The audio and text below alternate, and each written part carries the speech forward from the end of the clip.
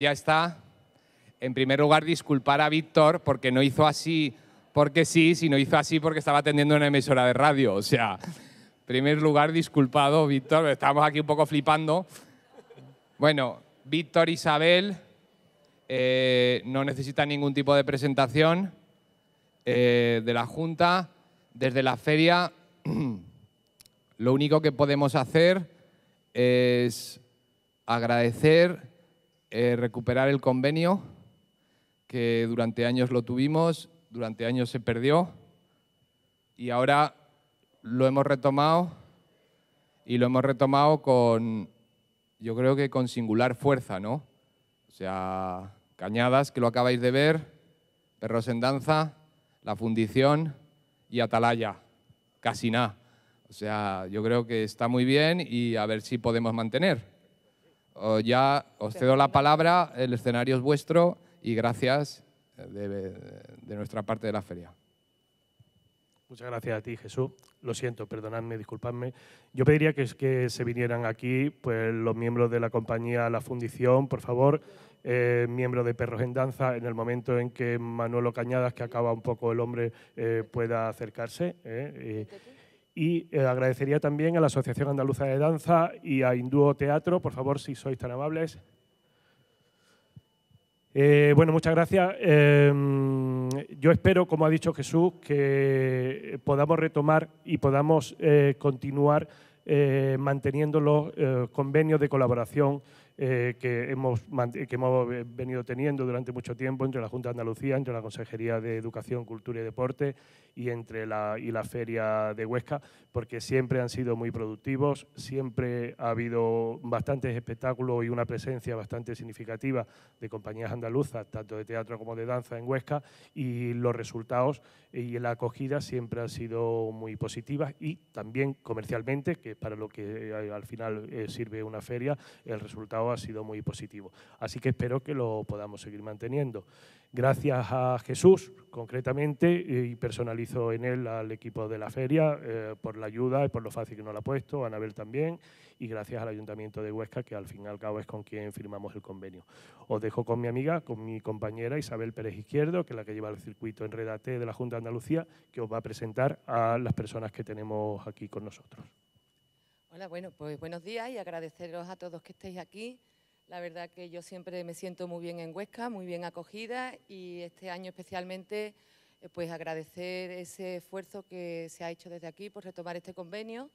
Y bueno, yo simplemente voy a dar paso ya a las compañías porque ellos tienen que contaros de dónde vienen sus proyectos, porque estamos aquí y en fin, no sé, varias cosas, ¿no? Eh, eh, también, aparte de compañías, tenemos a, a la Asociación de Danza de Andalucía, que tiene aquí un, stand a la paz. Tenemos a, Guillermo Baker y si te parece empezamos por ti.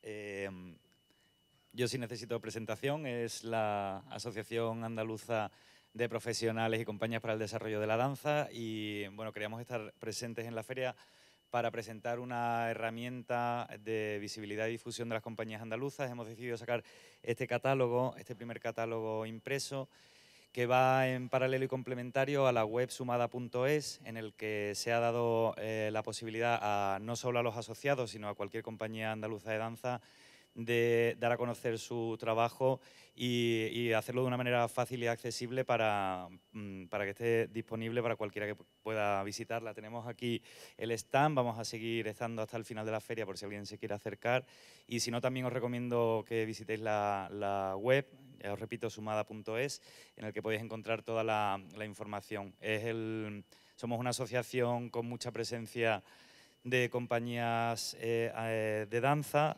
pero estamos comenzando, como quien dice, eh, buscando apoyos y buscando partners que nos ayuden a seguir trabajando. Así que muchas gracias y ahí estamos hasta el final del día. Gracias. Eh, bueno, vamos a seguir con los compañeros de Indúo Teatro, que también han tenido aquí un stand todos estos días y algunos de vosotros ya habréis podido hablar con ellos. Él es Antonio García. Buenas tardes. En primer lugar, agradecer a Isabel y a, Víctor bueno, la invitación a esta presentación. Y bueno, quería presentarme. Nosotros somos una joven compañía andaluza de tres años, pero sí que es cierto que miembros de nuestra compañía tienen una trayectoria más de 25 años en el teatro y en la investigación teatral y en la docencia teatral. Y bueno, nuestro perfil como compañía es la investigación sobre los, sobre los textos clásicos y un poco darle una vuelta de tuerca, digámoslo de alguna forma, intentar acercarlo porque pensamos que en los textos clásicos se recoge la mayoría de, la, de, las líneas dramatúrgicas de, de, hoy en día. Entonces siempre estamos en la línea de, reconvertir el texto clásico greco-latino para acercarlo al espectador. Y bueno, hace poco tuvimos la fortuna de ser invitados en el Festival Internacional Chipre, Tragedia Clásica, para representar a España. Y, me sorprende sobre todo que, bueno, que, Andalucía siempre ha tenido un peso en el teatro español y en esta feria lo podemos ver. Y bueno, poco a poco, uniendo, unificando esfuerzos entre todos, estamos consiguiendo que bueno, el teatro andaluz se vaya manifestando cada vez más. Así que muchas gracias y en nuestro stand tenéis un cachito de lo que somos nosotros, como se dice por el sur, y estáis todos invitados. Gracias. Eh, luego vamos a seguir por la fundición, que esta noche lo podéis ver aquí a las diez y media, aquí en el, auditorio. Y tenemos aquí a su director, a, a, Pedro Álvarez Osorio, que también a su vez es el director de todo el proyecto Fundición y en concreto de esta obra de Tomar Partido. Tenemos a dos de los actores, Roberto Quintana está esperando un taxi en el hotel, esperemos que llegue, eh, Antonio Dechen, Emilio Alonso. Y bueno, yo creo, supongo que vas a hablar tú, ¿no, Pedro? ¿O vamos a hablar todos? Contad lo que queráis. Bueno, gracias a vosotros.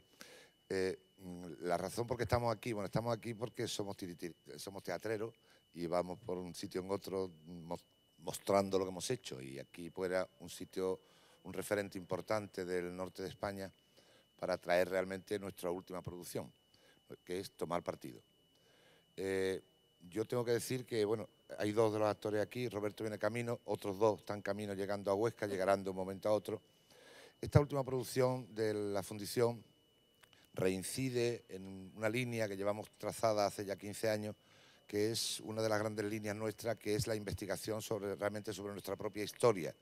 Si anteriormente hicimos un espectáculo sobre Queipo de Llano, una, una historia referente, concreta, nuestra, andaluza, cercana, que padecimos o padecieron nuestros, nuestros antecesores. En este caso estamos un poco situándonos en el contexto de, nuestra historia reciente europea. Y además estamos hablando sobre un tema que me parece de una enorme actualidad, que es política y cultura. Eh, tomar partido no es más que una obra de Ronald Howard, una maravillosa obra, que si algún mérito tenemos lo que hemos hecho, hemos partido de un texto maravilloso, una maravillosa obra que trata realmente sobre la investigación que se hace probablemente al mejor director de orquesta del, mundo del siglo XX, que es Wilhelm Furtwängler. Este hombre permanece en la Alemania nazi durante todo el proceso del nazismo y cuando llegan los aliados pues tienen que tratar de averiguar si este hombre estaba implicado o no estaba implicado o de qué manera estaba implicado realmente con todo lo que había ocurrido en los años anteriores.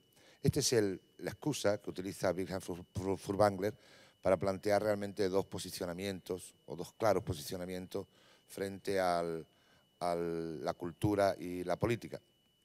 En el caso del personaje que interpreta Antonio, que es el, mayor Arnold, es un representante de los aliados, es un hombre, bueno, lo explicará ahora, lo pasaré más, más, fácilmente a él, sobre todo lo que intenta por todos los medios es tratar de decir, no me puedo creer que alguien permanezca durante todo el proceso nazi sin tener algún tipo de implicación.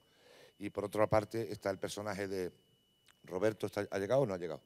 De Roberto Wilhelm Furtwängler, que es el personaje que él dice que se ha quedado allí porque es lo que defiende la cultura alemana por encima de todo y que no ha tenido ningún tipo de implicación. No quiero desvelar mucho más del tema porque a ellos lo complementan otra serie de personajes, como por ejemplo los personajes, y digo los porque él es el único que interpreta varios personajes, que representa un poco, como él dice siempre, a la orquesta a los distintos posicionamientos de los músicos que participaron con Wilhelm Furtwängler. Por otra parte, hay un judío que ha, intervenido también con los aliados y la secretaria, que es una víctima también del propio nazismo. La obra tiene el enorme interés de que las palabras que estamos oyendo, situadas en el año 45, nos suena a todos bastante conocidas, sobre todo los que estamos implicados en cultura y estamos padeciendo los avatares que nos están ocurriendo en los últimos años, no solo por la crisis, sino también por la intencionada actitud de nuestros políticos frente a la cultura. Entonces, yo he venido aquí y estoy hablando porque además de que sois espectadores, espero que muchos de vosotros seáis programadores y lo que pretendo por encima de todo y pretendemos, el otro gran objetivo es vender el espectáculo. Nos encantaría que el espectáculo se distribuyera por el norte, es la primera o la más alta ciudad a la que hemos accedido con este espectáculo y esperemos que de aquí salga una brillante gira por todo el norte de, España. Le paso la palabra aquí a mis dos colegas para que digan alguna cosa si quieren. Ha llegado también Roberto Quintana y tenemos también a, a, Joe. Tenemos a Joe que ya se ha cambiado. Bueno, eh, yo creo que ya Pedro ha explicado perfectamente. Sé que todos estáis esperando el canapé. Eh, por eso nos estáis escuchando, así que vaya a seguir un ratito escuchando.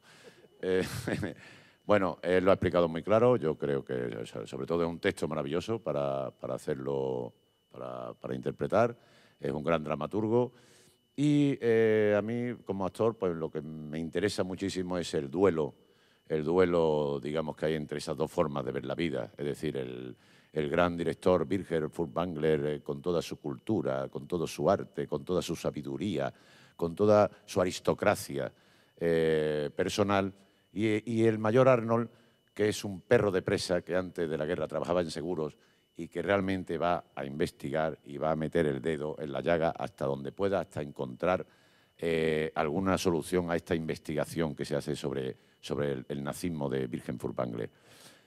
Eh, creo que lo que le ha faltado decir a Pedro a lo mejor es que todo esto, la envoltura de todo esto es eh, súper entretenida. Es decir, la envoltura de todo esto es eh, una, obra donde el espectador va viendo testigos, va viendo hechos, va viendo, se, va, se va para un lado, se va para el otro, se pone del lado de Furtwängler, se pone del lado del mayor, y todo esto está eh, contado pues como una película de juicios, con lo cual es bastante entretenido.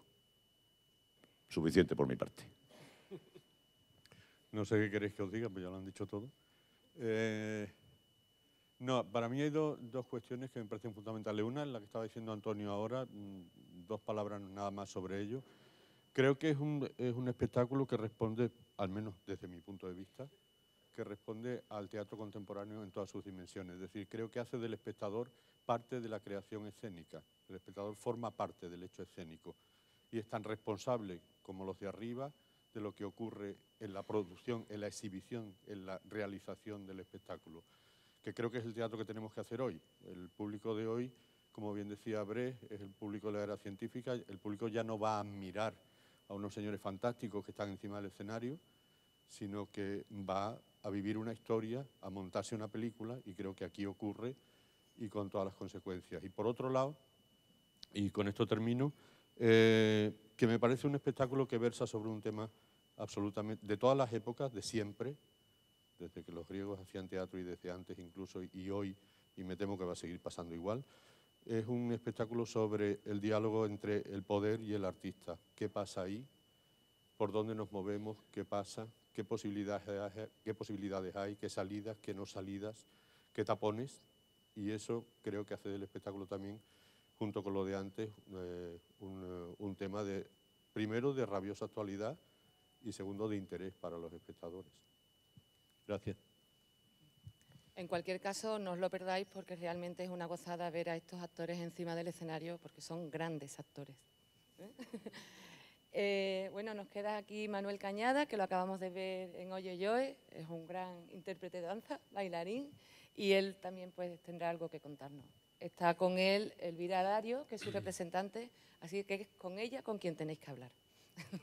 Hombre, yo le pasaría el micro a ella, que yo tengo poco que decir, lo que habéis visto es un extracto de la obra Oye Joe, Síndrome de ausencia, que está basado en un texto de Samuel Beckett, es un texto que hizo para la televisión, es un personaje que está en la cama, está hecho más para la cámara que para el intérprete. El intérprete lo que hace es estar parado y los movimientos son 13 movimientos de cámara que se va acercando a la cara y el protagonismo lo tiene la voz eh, en off.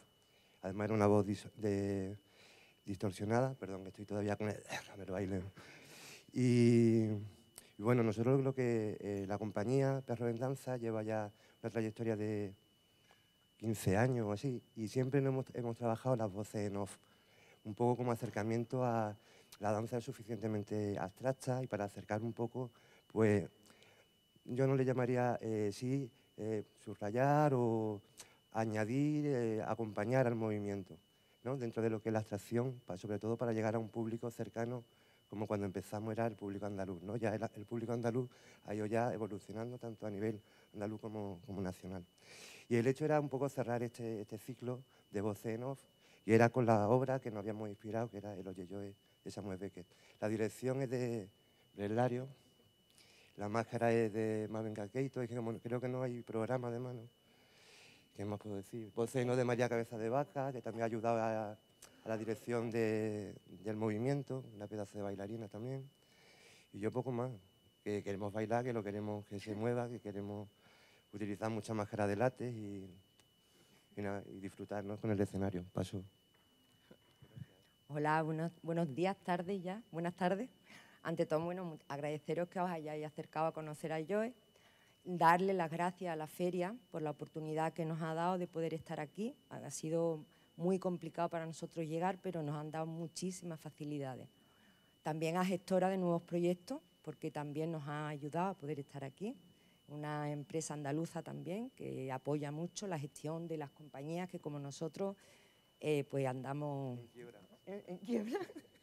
No, bueno, pero muy digno. Bueno, pues nada, eh, para nosotros era muy importante estar en Huesca, por eso el gran esfuerzo y sobre todo por dar a conocer el producto al norte. Ah, Manuel es un gran bailarín muy reconocido y muy conocido en muchas facetas, pero en esta faceta que abrió con Petrov, continúa con Joe y no sé qué haremos luego, pues está un poquito menos conocido, se ha, se ha movido menos en el sentido que bueno, también ha pillado época de crisis, se mezcla todo era una oportunidad de las personas y programadores del norte pues que conocieran un poquito la compañía, eh, por dónde nos movemos, qué producto llevamos, como veis, un producto de calidad. Bueno, para mí, por supuesto, claro. y nada, básicamente eso, que espero las llamadas. Bueno, pues... Hacemos un combo, Pedro y yo, ¿eh? lote de teatro y danza, ¿verdad? Eh, solamente disculpar la falta que tenemos aquí de la presencia de algún miembro de Atalaya, porque como son tan internacionales han salido todos volando. Y bueno... Eh, pues ya está, nos van a servir ahora un vino, así un poquito acompañado, un vino español. y muchas gracias por vuestra atención, muchas gracias a vosotros por acompañarnos y muchas gracias a la feria por darnos esta oportunidad. Nos vemos el año que viene, espero.